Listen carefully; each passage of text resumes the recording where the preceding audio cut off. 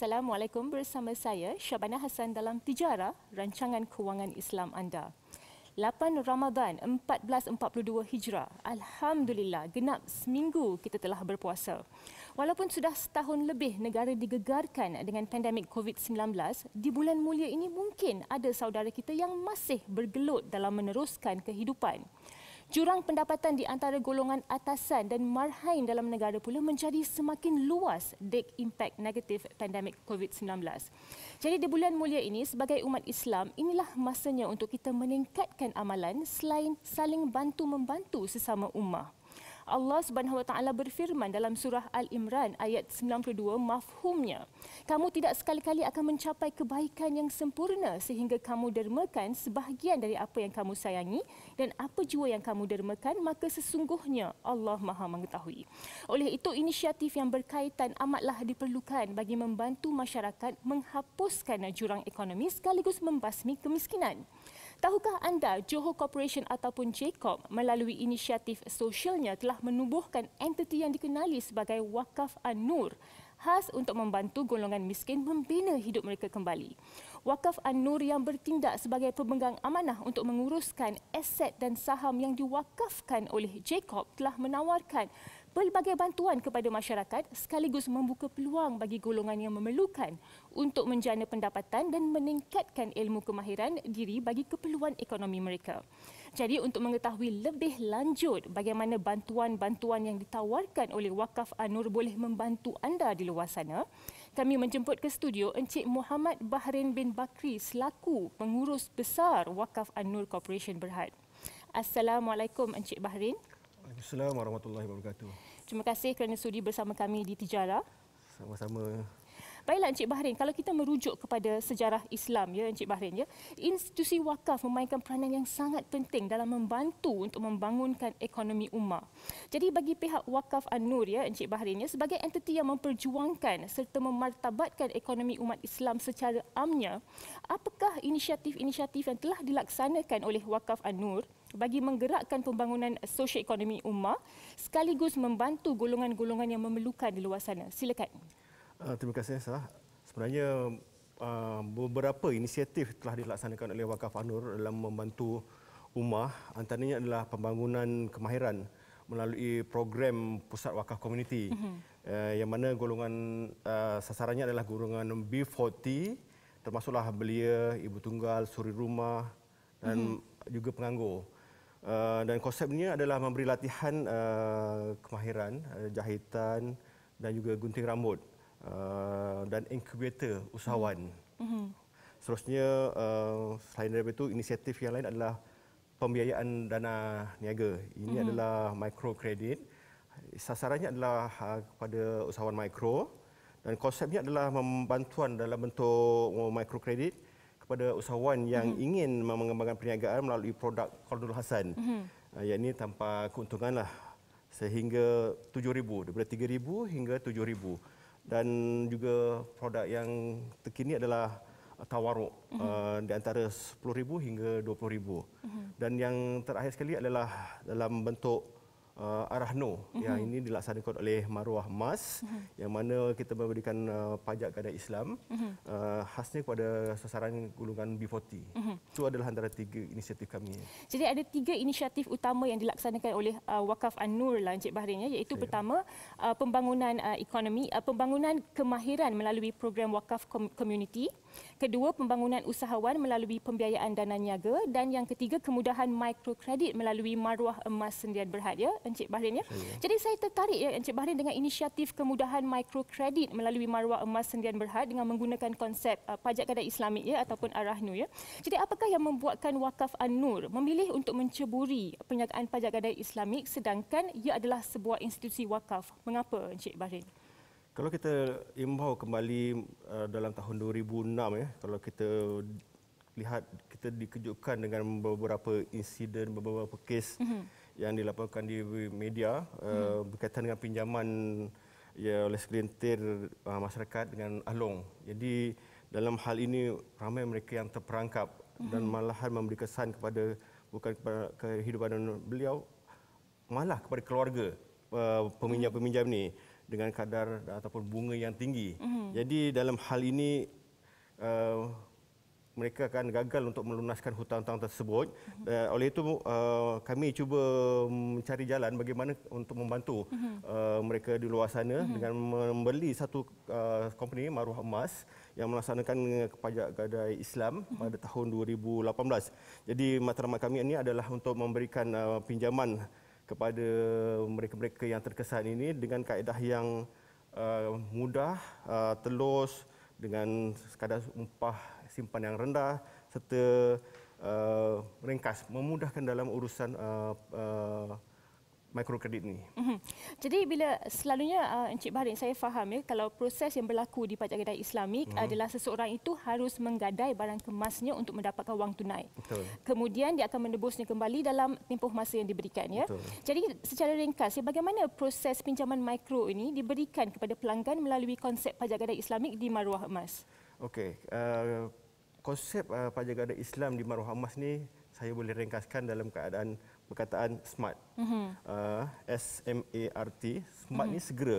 Segera bermaksud uh, mereka diluluskan dengan keadaan mm-hmm. yang cepat dan M murah. Murah ni bermaksud kadar umpah simpan yang sangat uh, rendah dan amanah A amanah maknanya keselamatan sandaran mm-hmm. ataupun cagaran jaga dengan baik dan sempurna dan seterusnya adalah berkaitan dengan ringkas. Urus niaga ini mudah. Kita mm-hmm. permudahkan. Kita tidak tak nak memberatkan kepada pelanggan.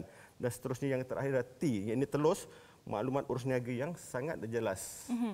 Jadi boleh saya katakan di sini Encik Bahrin dengan konsep smart ini, golongan yang mungkin tidak boleh mendapat pinjaman daripada bank akan mendapat pinjaman yang segera daripada maruah emas Betul. ini dengan sangat smart ya iaitu segera, murah, amanah, ringkas dan juga telus. telus. Baiklah, kita akan berehat seketika sahaja. Lebih banyak perbincangan mengenai wakaf An-Nur selepas ini jadi jangan ke mana-mana.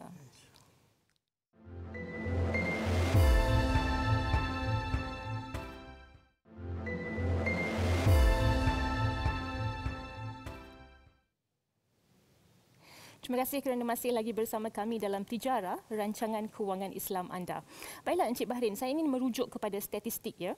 Uh, ahli ekonomi mengulas statistik rasmi terkini menunjukkan pengangguran meningkat kepada 4.8% pada Disember tahun lalu dan dia cenderung untuk bertambah semakin buruk dengan lebih ramai orang menganggur untuk jangka masa yang lebih lama. Jadi ini juga bermaksud pengangguran akan meningkat jauh lebih tinggi dari 4.8% dan menganggur untuk jangka waktu yang lebih lama ini akan menjadi satu ciri yang tetap. Jadi bagaimana ya uh, Encik Bahrin Wakaf An-Nur boleh membantu rakyat dalam mendepani cabaran ekonomi semasa sekaligus membantu untuk mengurangi jumlah pengangguran ini? Okey, dalam situasi pandemik masa kini, uh, kadar pengangguran termaklum sangat menggusarkan dan mm-hmm. dijangka akan lebih meningkat. Jadi inisiatif-inisiatif uh, yang telah kami laksanakan bagi mengurangkan uh, pengangguran ini pertamanya hmm. adalah uh, hasil membantu mereka-mereka yang hilang pekerjaan hmm. ataupun terjejas pendapatan. Jadi melalui pusat wakaf komuniti kami menawarkan peluang uh, reskilling dengan latihan kemahiran hmm. yang mempunyai low entry barrier uh, yakni jahitan dan gunting rambut bagi membolehkan mereka terjun dalam bidang keusahawanan uh, selepas latihan. Seterusnya menjana pendapatan uh, untuk membolehkan lebih ramai yang menerima manfaat. Jadi kepada tempoh ini kapasiti kami pun kami telah tingkatkan lagi 50% dengan menambahkan lagi sesi pagi dan petang. Uh-huh. Dan seterusnya selain daripada skilling ni uh, Wakaf Hanu juga memperkenalkan skim uh, baru di bawah uh-huh. pembinaan dana niaga yang sebelum ni uh, kami mempunyai tiga skim mm-hmm. uh, semai, tunas dan kembang tapi kami mm-hmm. uh, ini 3000 hingga 7000. Tetapi dalam te- tempoh pandemik ni kami memperkenalkan produk baru yang kita panggil benih mm-hmm. yang mana nilai uh, pembiayaannya berjumlah 1500 dan yang ini sebenarnya adalah pembiayaan yang tidak memerlukan track record perniagaan. Mm-hmm. Mereka boleh memohon pinjaman kepada Wakaf Anur melalui dana niaga ini dan mereka akan dibimbing dengan uh, rakan-rakan strategik mm-hmm. kami uh, untuk mereka mengembangkan bisnes mereka. Dan skim ini juga diperkenalkan hasil kerjasama dengan Global Sedekah iaitu mm-hmm. uh, yang merupakan sebuah platform crowdfunding Islamik yang berpusat di Malaysia. Mm-hmm. Um, selain itu, masa semasa pandemik ini kami juga menawarkan moratorium, uh, moratorium secara automatik lah kepada mm-hmm. pelanggan kami, yang ini peminjam tapi secara Islami kita panggil sebagai pelanggan. Ya. Mm-hmm. Dalam tempoh 6 bulan ini secara automatik melibatkan lebih kurang dalam 129 pelanggan, di mana jumlahnya lebih kurang dalam hampir 160 ribu mm-hmm. uh, ringgit. Uh, lanjutan dari tempoh moratorium ini, um, pelanggan yang masih terjejas ni kami juga beri ruang mereka untuk penjadualan semula uh-huh. uh, bagi merangkakan komitmen uh, bayaran bulanan mereka. Uh, dan seterusnya um, kami juga um, menggalakkan peluang pertumbuhan apa ni peluang pekerjaan Wakaf Anu dengan kerjasama Majlis Agama Islam Negeri Johor iaitu dengan menganjurkan program Perintis. Uh-huh. Program ni uh, sebenarnya membangunkan usahawan sosial uh, ataupun uh-huh. social enterprise dalam bidang jahitan uh-huh. yang mana program ini melibatkan 10 orang dan Tujuannya adalah untuk melahirkan peluang pekerjaan dan usahawan kepada golongan asnaf dan B40. Semoga di satu hari nanti mereka ini pula menjadi pewakaf ataupun pengifak uh, ataupun jadi penyumbang kepada sedekah. Insya-Allah. Jadi ada beberapa skim di sini lah ya Encik Bahri yang telah diline upkan oleh Wakaf An-Nur untuk membantu rakyat seperti latihan reskilling, pembiayaan dana niaga yang akan membantu penganggur untuk memulakan perniagaan, moratorium automatik dan juga program perintis ya bagi membangunkan usahawan sosial dalam bidang jahitan ya. Baiklah Encik Bahri. Jadi secara ringkas ya Encik Bahri ini mungkin uh, Encik Bahri boleh terangkan ya pencapaian program-program pembangunan sosio-ekonomi di bawah Wakaf An-Nur sehingga kini. Uh, untuk makluman saya, jumlah pembiayaan dana niaga uh, sehingga bulan lepas, bulan Mac, uh, lebih kurang dalam 1.3 juta. Ini rolling fund lah. Uh-huh. Uh, dan bilangan pembiayaan ni yang menerima pembiayaan ni lebih kurang dalam hampir 500 dan seterusnya uh, jumlah untuk pusat wakaf komuniti. Ini termasuk gunting rambut dan jahitan uh-huh. uh, lebih kurang dalam 320 orang termasuk asnaf, ibu tunggal dan juga QU. Manakala usahawan, uh-huh. usahawan uh, jahitan dan gunting rambut yang ini social enterprise kita telah melahirkan seramai 42 uh-huh. Mhm. usahawan dan yang paling penting pada tahun lepas kami juga telah mendapat penganugerahan Best Islamic Microfinance Institution oleh uh, Global Islamic Finance Awards uh, 2020 ataupun ringkasnya GIFA yang berpusat di London. Mm-hmm. Masya Allah banyak juga yang telah benefit ya daripada uh, program-program wakaf An-Nur ni ya Encik Bahrain ya. Dan tahniah dari Tijara ya kami ucapkan di atas Best Islamic uh, Microfinance Institution yang diberikan oleh Global Islamic Finance Award pada tahun lepas. Baiklah, kita akan berehat seketika sahaja dan selepas ini kita akan bertanyakan pula mengenai contoh-contoh individu yang telah mendapat manfaat daripada program pembangunan sosial ekonomi Wakaf An-Nur. Jadi, jangan ke mana-mana. Sebentar sahaja.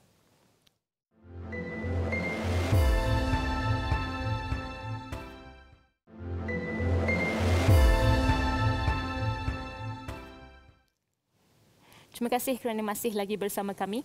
Baiklah, kita telah pun berbincang ya bagaimana Wakaf An-Nur dibina khas untuk memberi bantuan kepada golongan-golongan yang memerlukan di luar sana. Mereka yang menganggur, hilang pendapatan, peniaga-peniaga kecil dan sebagainya. Jadi saya ingin menggunakan masa ini ya Encik Bahri untuk Encik Bahri memberikan kepada kami contoh-contoh individu yang telah pun berjaya daripada program Wakaf An-Nur ini supaya ia boleh mencetuskan semangat kepada penonton di luar sana untuk mengambil bahagian Ah, sama ada sebagai seseorang yang berwakaf ataupun seseorang yang menerima wakaf. Silakan. Uh, terima kasih Sas. Um, antara contoh-contoh yang sangat menarik yang boleh saya tunjukkan di sini adalah uh, pelanggan dana niaga yang membuat bisnes uh, makanan. Ini Puan Rohana Muhammad Arifin, dia seorang ibu tunggal. Uh, pada awalnya mereka ni mendapat pembiayaan dana niaga RM3,000 pada tahun 2018 bagaimanapun kami memberikan uh, juga kursus pembangunan usahawan, mm-hmm. coaching dan mentoring dan seterusnya uh, kita bagi ruang premis di Lakin Central, Bazar Lakin Central. Apa yang menariknya, sika sebelum ini uh, hasil jualan beliau lebih kurang dalam RM780. Mm-hmm. Tetapi selepas uh, beliau uh, bersama dengan Dana Niaga dengan pinjaman RM3,000 dan serta kaedah coaching dan mentoring, hasil perniagaan beliau telah meningkat hingga 15,000 mm-hmm. sebulan. Maknanya meningkat lebih daripada 20 kali ganda. Tapi ini sebelum uh, pandemik lah. Mm-hmm. During pandemik, kaedahnya adalah melalui online. Still uh, masih tinggi berbanding uh, sebelumnya. Ini adalah uh, bagi dana niaga yang pertama. Mm-hmm. Yang keduanya adalah pelatih Pusat Wakaf Komuniti Dana Niaga, ini Encik Fizuan uh, bin Abdul Jaafar. Beliau hanya lepasan SPM saja dan sebagai pembantu restoran. Tetapi beliau terlibat dengan uh, program latihan gunting rambut selama tiga bulan pada tahun 2019. Dan apa yang memberi impak kepada beliau adalah kerana beliau adalah usahawan memiliki sundown uh, barbershop di Kempas hmm. dan memberikan peluang pekerjaan kepada dua orang maknanya dia dua ada dua orang pekerja hmm. dan kalau kita lihat pendapatan beliau hmm. uh, telah meningkat tiga kali ganda hmm. daripada 1200 kini lebih daripada 5000. Mm-hmm. Jadi ini adalah dua contoh yang boleh kami tunjukkan mm-hmm. uh, atas kejayaan-kejayaan uh, hasil daripada pelanggan-pelanggan dana niaga ini. Mm-hmm. Masya-Allah ini menunjukkan ya Encik Bahrin bahawa wakaf An-Nur telah berjaya untuk menaikkan taraf hidup seseorang ya. Jadi secara ringkas ya bagaimana seseorang yang ingin memberikan wakaf melalui wakaf An-Nur melakukannya? Bagaimana prosesnya dilakukan?